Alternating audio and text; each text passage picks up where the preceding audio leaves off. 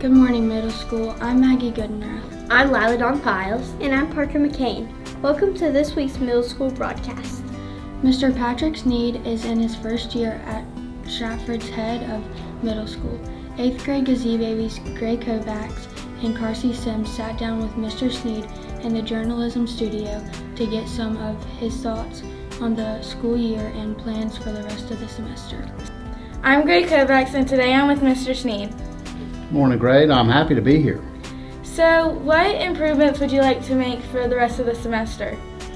Well, you know, it's funny. There are a lot of things just being my first year that I'm looking at in terms of um, what's already done and, you know, here at Stratford and, and what, what I'd like to see added. Um, you know, one of the things that we're working on right now are trips for the seventh and eighth grade and trying to get those finalized um, for later in the spring. Uh, one of the things that I'd really like to see us do is develop more opportunities for students to become leaders mm-hmm. um, and get involved in the decision making process of kind of what happens or what activities that we do um, on campus. And then uh, personally, and I know I've mentioned this to some people before, I'd love to see us get um, some stuff on campus to make break maybe more fun or more active whether that's like a gaga ball pit or nine square in the air, just painting lines for four square, but just ways for people to be uh, active and burn up some energy while we have our free time in the mornings. Hi, I'm Carsey Sims. I'm in the eighth grade, and my question is what are your expectations for students for the rest of the semester? Uh, you know, it's a great question, Carsey, and the one thing I would say is expectations never really change. Um, you know, when I when I first introduced myself to, to you guys, the students, in, in the fall, um, you know, I said I have three simple rules. Um, and, and those are things that, that I think are non-negotiable. I'd love for people to um, do the best that they can with the time that they've got permitted. Um, I believe that there's never a wrong time to do the right thing. And finally, to treat people the way that you want to be treated. Um, I think the biggest thing that I'd love for people to do, just quite simply, is to be nice to each other. Um, there's no excuse for not being kind, and I think um, if we treat each other the right way, then good things happen.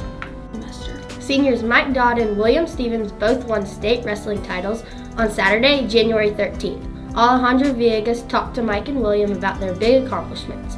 Here is a report. Hi, I'm Alejandro Villegas. I'm here with William Stevens and Mike Dodd. William, you went 6 and 1 with your only loss coming in the fourth overtime. And Mike, you went 11 0 in middle school and 4 and 1 in varsity. Uh, between you two, you guys only gave up one takedown the whole year. That's really impressive. How do you guys feel about that? You know, it was mostly just like don't let them pin you, kind of like keep fighting and don't lose, kind of. Got it. Um, I usually wait for them to attack and then defend. All right. All right, guys, well I know you guys have been putting in a lot of hard work this season and um, how does it feel? Was it really, was it worth it at the end to win the state after putting in all that dedication? Well, it really was because I honestly went in there with not really high expectations. I didn't think I was going to win and I came out a champion so the hard work really did pay off.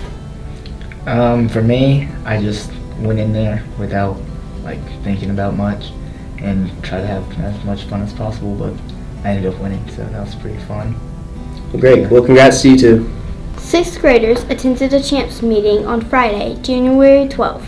Siler Hall and Bitsy Geary have a report. I want you guys to know that law enforcement officers, police officers, first responders, we are normal people.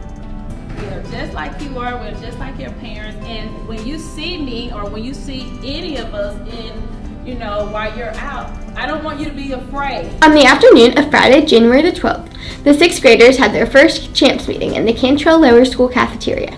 CHAMPS stands for Choosing Healthy Activities and Methods Promoting Safety. CHAMPS was led by local police officer Wooten, mother of Stratford student Bobby Wooten. After giving a short introduction, Officer Wooten told the class about the dangers of drugs. Everyone learned about what is and what is not a drug and how to use them safely.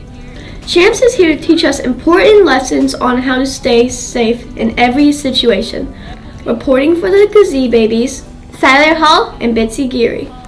A few of the stories we are working on for our next broadcast are the Quiz Bowl, participating in the state competition, the King Tut project, and Miss Griffin's classes, and a look at the at a few middle school students who love to spend their free time playing the video game Fortnite. That's all for this week. Thanks for watching.